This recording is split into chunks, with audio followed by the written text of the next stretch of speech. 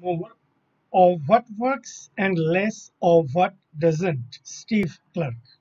नमस्कार दोस्तों currency weekly analysis पे आप सभी का स्वागत है आज है 11th ऑफ़ जून 2022 कल US CPI came at 8.6 against the expectation of 8.3 बहुत ही खराब आया लास्ट 40 इयर्स का and month on month basis में देखेंगे तो which is coming around one percent all put together it is in double digit that means market is going to take this particular C P I very badly and Monday onwards कुछ काफ़ी aggressive action हम देख सकते हैं both in currency markets as well as in equity markets quickly dollar index पे अच्छा खासा एक बुलिश कैंडल देखा गया है। एंड पोस्ट सीपीआई डेटा और भी ज़्यादा तेज हो चुका है। अभी हमें इंतज़ार है इसका जो ऑल जो स्विंग हाई है स्विंग हाई के ऊपर कब जाके क्लोज दे देता है फॉलो थ्रू करता है। अगर हम मंथली में देखेंगे मंथली में भी ये जो आपका स्विंग हाई है, जो आपका जनवरी 2017 का है, उसके हाई के ऊपर जा रहा है और in the month of June हमें देखना है कि मे के हाई के ऊपर क्लोज दे देता है या नहीं। अगर मे के हाई के ऊपर क्लोज दे देता है तो बहुत ही और भी ऊपर जाने का एक्सपेक्टेशन हो सकता है। अगर हम डेली में देखेंगे डेली में आपका ये कल पोस्ट सीपीआई बहुत ही ऊपर की तरफ़ गया है, अभी हमें एक्सपेक्ट करना है इसके हाई के ऊपर बेसिकली इसके हाई के ऊपर अगर क्लोज दे देता है तो और भी ऊपर हम देख सकते हैं। कितना ऊपर, वो हमें आने वाले दिन में प्राइस एक्शन के बेसिस पे देखना है। अगर हम डॉलर रुपी देखेंगे डॉलर रुपी आपका जो हमारा इंडियन ट्रेडिंग टाइम था, उस टाइम पे इट वाज अराउंड 77.80 लेकिन पोस्ट सीपीआई डेटा ये काफ़ी एक्टिविटीज़ हुआ है ऊपर की तरफ़। Traded high of 78.18 and finally closed at 78.09 that being the case Monday को हमें एक अच्छा खासा ऊपर की तरफ़ मूवमेंट देख सकते हैं। One alert is intervention from Reserve Bank of India अगर हम वीकली चार्ट को देखने का कोशिश करेंगे, काफ़ी बुलिशनेस यहाँ पे दिख रहा है। और मंथली में देखेंगे मंथली तो ऑल टाइम हाई पे है ऑन डॉलर रुपी तो मंडे को हमें ऊपर का ही एक्सपेक्टेशन है. Only exception is central bank intervention अगर हम जीबीपी डॉलर देखेंगे, कल अच्छा खासा सेल अप हो चुका है.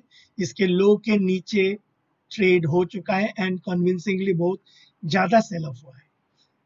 And it traded in between 1.2517 and 1.2309 अगर हम वीकली चार्ट का देखने का कोशिश करेंगे तो वीकली में अभी यहाँ पे आपका 1.2170 एंड 1.2250 ये रेंज के अंदर में क्या आने वाले हफ़्ते में सपोर्ट लेता है या नहीं, वो हमें देखना पड़ेगा।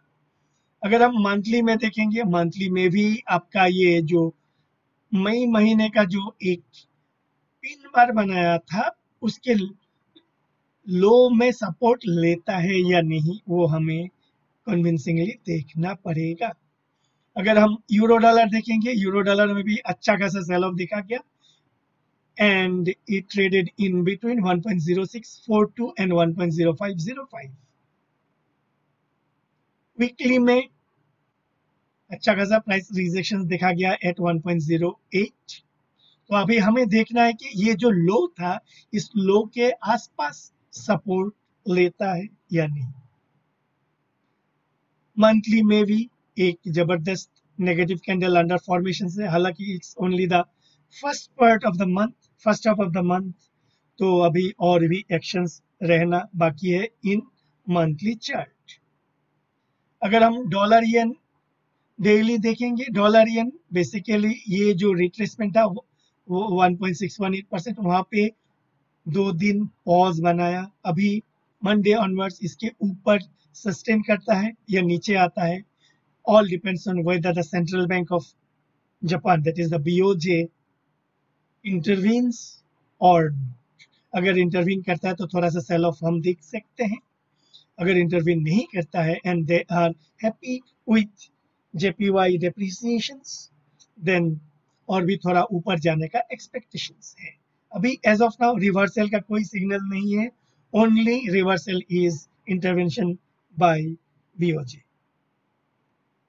अगर हम करेंसीज में देखेंगे अच्छा ये वीकली एंड मंथली हमने देखा नहीं है जेपीवाई का।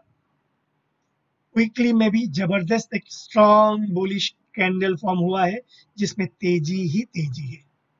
अगर हम मंथली देखेंगे, उसमें भी बरकरार है आपका। तेज़ी ही बरकरार है। अगर हम जीबीपी आईएनआर देखेंगे ऑन रूपी टर्म्स में that means GBP against the rupee वहाँ पे देखेंगे कि कल अच्छा खासा एक सेल ऑफ़ हुआ है। And it traded in between 97.42 and 96.09 तो अभी हमें देखना है कि ये वाला रेंज पे जो हमने ऑलरेडी मार्क किया हुआ था प्रीवियस एनालिसिस पे, यहाँ पे सपोर्ट लेता है या नहीं? As per the RJ terms sell off है। अगर हम वीकली देखेंगे वीकली में भी लास्ट वीक में अच्छा खासा प्राइस रिजेक्शन हुआ है फ्रॉम द टॉप अभी यहाँ पे एक सिग्नल है कि ये रेड लाइन के यहाँ पे सपोर्ट लेता है या नहीं लेता है ऑन आर एस ये हमें देखना है। या डायरेक्ट फ्री फॉल होता है। मंथली देखेंगे मंथली में भी काफ़ी वीकनेसेस है। यूरो आयनर यहाँ पर भी अच्छा खासा कल हमने एक सेल ऑफ़ देखा है। अगर हम वीकली में देखेंगे तो वीकली में भी बहुत ही बड़ा बियर कैंडल फॉर्म हुआ है। एंड ये सेल ऑफ़ के बाद हमें ये रेड लाइन के ऊपर यहाँ पे आर एस सपोर्ट लेता है या नहीं लेता है वो हमें देखना है। अगर सपोर्ट लेता है then we can play from the long side after that particular event monthly में भी नेगेटिविटी है, लेकिन जीबीपी आईएनआर की तरह इतना ज़्यादा नेगेटिविटी नहीं है।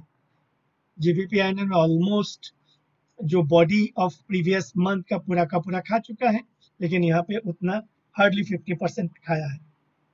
अगर हम जेपीवाई आईएनआर डेली देखेंगे, इसमें कल दो दिन यहाँ पे कंसोलिडेट थर्सडे एंड फ्राइडे को यहाँ पे कंसोलिडेट करने का कोशिश किया था। अभी ये स्विंग लो के नीचे अच्छा खासा एक sell off can expect in this currency pair. अगर हम वीकली में देखेंगे, काफ़ी वीकनेस है एंड स्विंग लो को तोड़ के नीचे चला गया है। मंथली में देखेंगे मंथली में भी नेगेटिविटी बरकरार है। यहाँ पे अगर हम देखेंगे तो प्रोबेबल सपोर्ट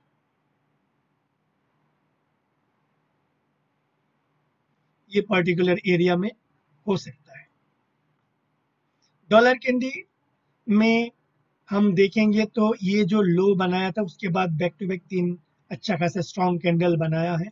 अभी हमें देखना है कि इस एरिया के आसपास, इस एरिया दैट इज़ 1.28 एंड 1.2850 इधर में ये रेजिस्टेंस लेता है या फोर के ऊपर की तरफ़ जाता है, वो हमें मंडे ऑनवर्ड्स के ट्रेडिंग में देखना है।